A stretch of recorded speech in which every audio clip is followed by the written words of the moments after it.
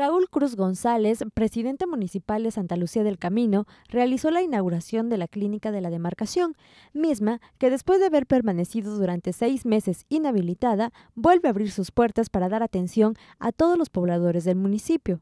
Señaló que las instalaciones de la clínica se encontraban en situaciones deplorables. Sin embargo, a 19 días del inicio de su administración se logró la rehabilitación. En materia de salud, donde la clínica municipal estuvo cerrada por más de seis meses, donde había algunas denuncias por parte de los ciudadanos donde habían privatizado incluso la clínica municipal.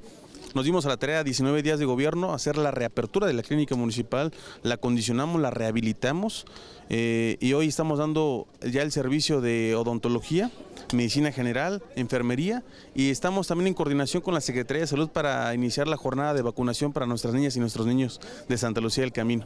Quiero exhortar a todos los habitantes que son bienvenidos aquí en su clínica municipal, como ustedes pueden ver. En cuanto al tema de violencia que preocupa a nuestra sociedad y sobre todo a los padres de familia, mencionó que tomará las medidas necesarias para cuidar la integridad de los jóvenes y niños de este municipio.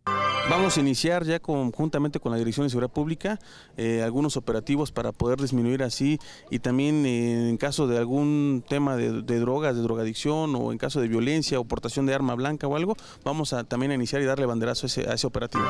Anticipó que a partir del próximo domingo 22 de enero se retomará la realización de tequios en el municipio, mismo que se puso en marcha durante su periodo de campaña. Vamos a darle mayor auge a los domingos de tequios y vamos a iniciar ahí dándole pintura, rehabilitándola, muebles, todo para poder también ya eh, eh, abrirla y darle atención a toda la gente y no inclusive, no solamente a la gente del municipio, sino también ya a los, los municipios vecinos. Con imágenes de Pablo Cruz, informó para MBM Televisión Cecilia Bautista.